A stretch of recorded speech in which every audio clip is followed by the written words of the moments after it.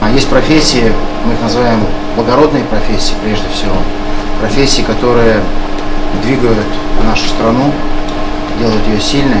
Нам вручают э, сертификаты по программе «Социальная ипотека», которые позволят нам приобрести свое жилье. Это ощутимый шаг для молодых ученых и в целом для молодых людей, потому что приобрести жилье одному самому достаточно тяжело.